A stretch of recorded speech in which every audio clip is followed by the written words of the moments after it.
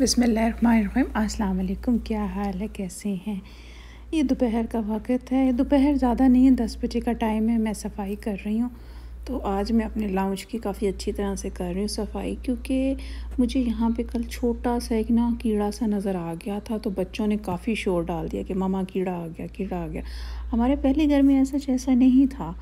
और यहाँ पे शायद मैंने पहले भी सुना था कि इस एरिए में दमाम खूबर में थोड़ी सी अजीब सा वेदर होता है और कीड़े वगैरह आ जाते हैं सिम आ जाती है और इस तरह। तो बस अब ये कि सोफ़े वगैरह पीछे करके मैं ख़ुद ही सारी सफ़ाई कर रही हूँ। वैसे तो मैं ख़ुद ही करती हूँ, लेकिन ये है कि मैं अच्छी तरह से कर रही हूँ और क्लीनिंग ताकि हो जाए। बस इधर ये होता है कि बस वो ज़रा हेयर फॉल पता नहीं कहाँ से बाल इतने आ जाते हैं, कोई इतना हेयर फॉल तो है नहीं।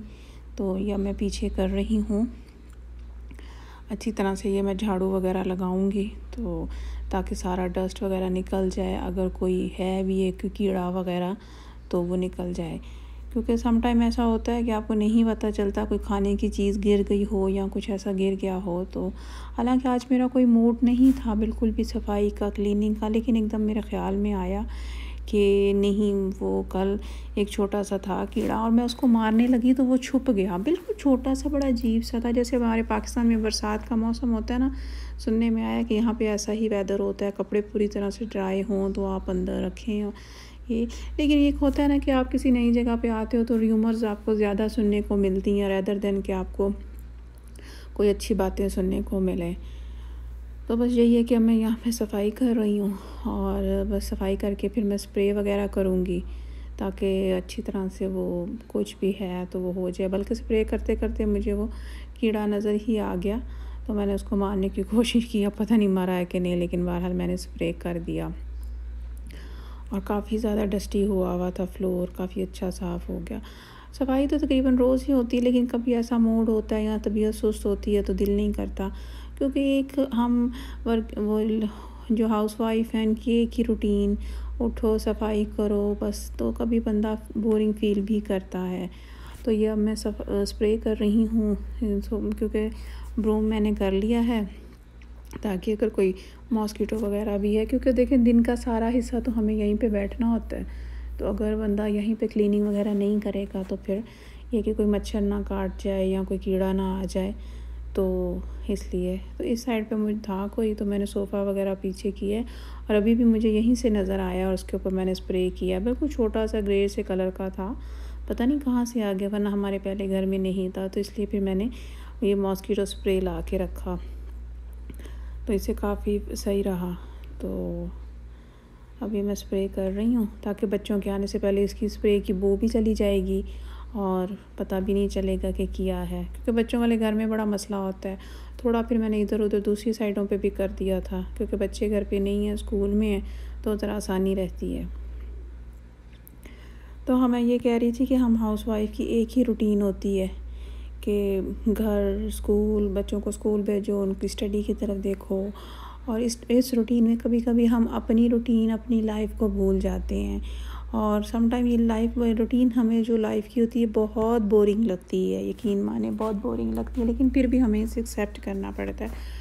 अब जबकि मैंने सफ़ाई कर ली है लॉन्ड्री भी मेरी हो गई हुई है तो अब मैं थोड़ी देर रेस्ट करूँगी, थोड़ा टीवी देखूँगी और एक कप ये मैं कावा पी रही हूँ, अपना लूज़ वेट का टी बनाई थी मैंने। बना के मैंने थर्मस में रख ली थी ताकि बार बार बनानी ना पड़े, क्योंकि बार बार बनाने की फटीक से ना फिर बंदा कहता है, यार छोड़ो, क्या मैं पीऊँगी?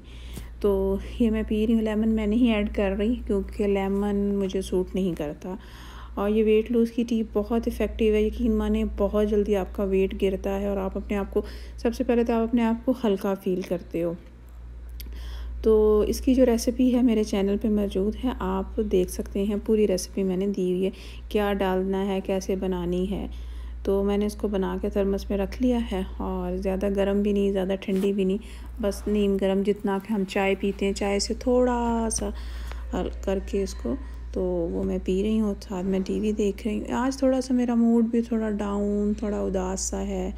बस कभी कभी कुछ ऐसा होता है, कुछ मौसम का असर होता है, कुछ तबीयत ऐसी होती है कि आपको दिल नहीं करता किसी भी काम को। बस होता है कि कोई आए और करके दे जाए।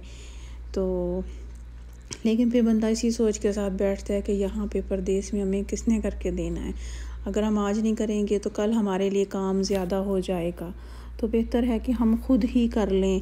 रैदर देन कि हमारे लिए कल एक ज़्यादा काम हो और उसको संभालना हमारे लिए एक मसला बन जाए या हमें थकावट हो जाए तो या और हमें नया काम कोई आ जाए घर का तो हमारा काम लंबा ना हो जाए।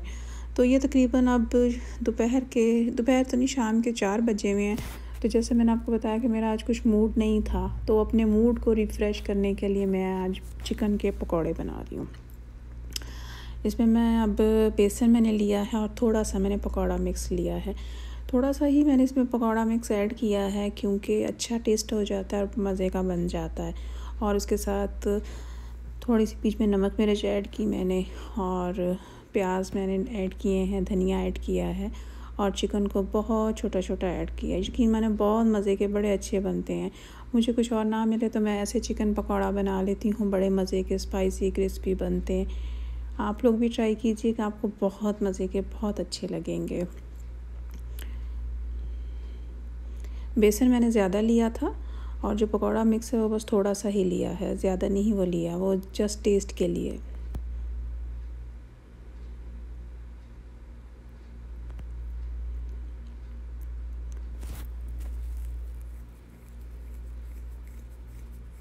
तो बास टाइम होता है इंसान कभी फ़ील ऐसा करता है, लेकिन ये है कि फिर बंदा सोचता है कि यार चलो, थोड़ा कर लो। और वैसे भी अगर हम खुद डेली का डेली अपना वर्क नहीं कंप्लीट करेंगे तो फिर ये होगा कि अगले दिन ज़्यादा हो जाएगा, संभालना मुश्किल होगा।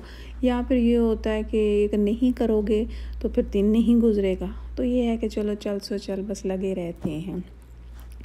तो बस ये होता है, लेकिन जो लोग पाकिस्तान में होते हैं, उनकी मौज होती है। लेकिन यही कहा जाता है, जो जहाँ रहे, खुश रहे तो अच्छा है। हम क्यों किसी दूसरे की तरफ़ देख के ख़ुद अपने आप को कहें कि नहीं, कोई ऐसा है, कोई वैसा है, बस अपनी धुन में रहें, खुश रहें, सदा आबाद रहें। आमीन, सुम आमीन। तो इसमें मैंने दोनों चीज़ें डाल दी हैं, बेसन मैंने ज़्यादा डाला है, पकौड़ा मिक्स मैंने थोड़ा डाला है, और रेड चिली पाउडर डाला है थोड़ा सा नमक डाला है, क्योंकि ऑलरेडी उसमें नमक ऐड है तो कहीं ज़्यादा ना हो जाए, लेकिन मेरा नमक कम ही था, ज़्यादा स्पाइसी में नहीं बना रही। अब इस ड्राई को मैं अच्छी तरह से मिक्स कर लूँगी, क्योंकि मिक्स करने से ये होता है कि इसमें जो थोड़ी सी एयर बन जाती है, वो थोड़ा कंट्रोल हो जाती है, और आपके जो पकौड़े हैं वो अच्छे से फ्लफ़ी से फूल जाते हैं और अच्छे क्रिस्पी क्रंची बन जाते हैं। और जो सारे ड्राई इन्ग्रीडियंट्स हैं, जब तक आपस में अच्छी तरह से मिक्स ना हो जाएँ, तब तक पानी ऐड ना करें। और इसको अच्छी तरह से मैं खूब अच्छी तरह से ऐड करके थोड़ी देर के लिए इसको मैं छोड़ दूँगी ताकि ये अच्छी तरह से मिक्स हो जाए। अभी मैं नहीं बनाऊँगी बनाऊँगी थोड़ा मगरिब के बाद ही इनको। तो आप अपना फीडबैक देते रहा करें, बताएँ और प्लीज़ सब्सक्राइब मेरे चैनल को कर दिया करें लाइक कर दिया करें और शेयर भी किया करें और जो लोग वॉच करते हैं प्लीज़ कमेंट ज़रूर किया करें। अच्छा लगता है आपके कमेंट्स करने से। यहाँ पे मेरी बेटी आ गई वो कह रही कि मुझे मिक्स करना है। तो मैंने कहा, चलो तुम कर लो। क्योंकि ड्राई है, सच ऐसा कोई है नहीं, ऐसा मसला। तो इसमें चलो बच्चे थोड़ी देर के लिए खुश हो जाते हैं तो उसको अच्छा लगता है मिक्स करना। तो मैंने कहा, चलो तुम मिक्स कर लो। तो वो मिक्स कर रही है। उतनी देर में मैं बाकी चीज़ों की कटिंग वगैरह चिकन की कटिंग शटिंग मैं कर रही धनिया वगैरह मैंने कहा, मैं निकाल लूँ तो मिक्स कर लो।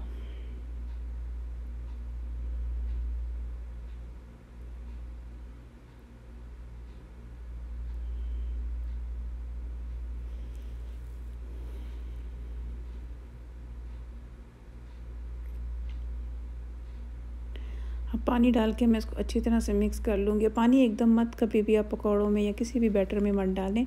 पानी हमेशा थोड़ा थोड़ा करके डालें और कोशिश करें कि पानी थोड़ा सा नीम गर्म हो। बहुत ज़्यादा गर्म नहीं चाहिए हाँ थोड़ा सा गर्म पानी हो तो वो अच्छा रहता है। आपकी मिक्सिंग बहुत अच्छी हो जाती है और कोई लम्स नहीं बनते। इसकी नस्बत कि आप टैप का नॉर्मल पानी लें तो वो भी यूज़ कर सकते हैं, लेकिन अगर नीम गर्म ले लेंगे तो कहते हैं कि डबल अच्छा काम हो जाएगा। तो बस ज़िंदगी इसी तरह से ही है, कभी उदासी है, कभी गम है तो ऐसा चलता ही रहता है। लेकिन कुछ कुछ टाइम ऐसा होता है कि आप एक्स्ट्रा ऑर्डनरी उदास होते हैं, गमगीन होते हैं तो ये तो ज़िंदगी में चलता ही रहता है। लेकिन ये है कि अगर इंसान अपना ध्यान इधर उधर बटा ले तो फिर मैं समझती हूँ कि वो सब ठीक हो जाता है। तो ये प्याज मैंने चॉप किए थे। इस चॉपर के बारे में मैंने आप लोगों को बताया था। पूरी वीडियो भी दिखाई थी। अगर आप लोग उस चॉपर को देखना चाहते हैं, हैंडमेड चॉपर है ये तो ये मैं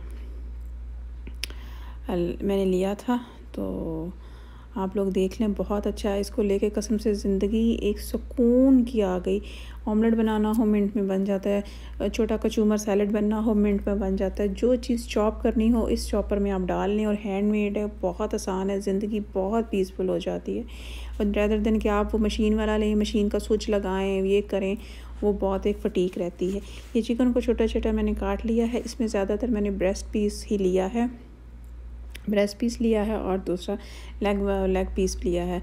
मेरे पास ऑलरेडी ये बोनलेस ही था तो मैंने ये थोड़ा सा लेके अब इसके अंदर मैं डालूँगी। छोटे छोटे चंक्स आपने काटने हैं, बहुत छोटे छोटे कि खाने में फ़ील हों और जल्दी पक भी जाएँ ताकि जब बैटर लगेगा इसके ऊपर तो पक जाएँ। बहुत अच्छे बनते हैं, बड़ा मज़ा आता है और बहुत बड़ी बड़ा अच्छा टेस्ट रहता है।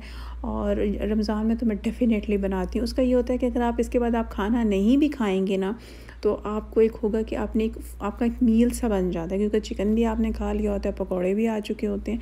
तो वे एक आपको भारीपन तो होता नहीं, पेट भी नहीं फूलता, लेकिन ये ज़रूर है कि एक खाने की तरह आपका एक बहुत मज़े का बन जाता है और खाने की फिर इतनी वो चाहत भी नहीं रहती। तो मैं चिकन डाल के इसको अच्छी तरह से मिक्स कर लूँगी और फिर थोड़ी देर के लिए मैं इसको रख दूँगी फ़ौर नहीं बनाऊँगी, ताकि थोड़ा सा ये बैटर अच्छी तरह से प्याज और चिकन में मिक्स हो जाए। अभी भी आप देख रहे हैं कि मैंने ज़्यादा पानी नहीं डाला और इसी को जितना पानी था उसी में मैंने इसको मिक्स किया है ताकि अच्छी तरह से ये मिक्स हो जाए और अभी थोड़ा थिक थिक रहेगा, थोड़ी सी थिक पेस्ट है तो आहिस्ता आहिस्ता इसमें पानी डाल के इसको मैं मिक्स करूँगी।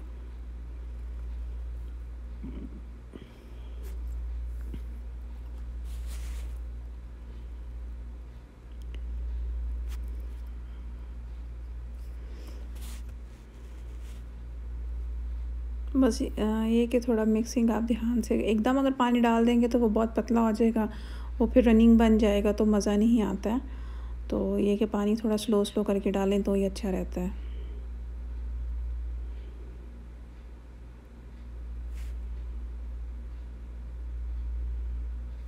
जिन ममालिक में सर्दी होती है, वहाँ पे फिर भी बहुत अच्छा टाइम गुजर जाता है।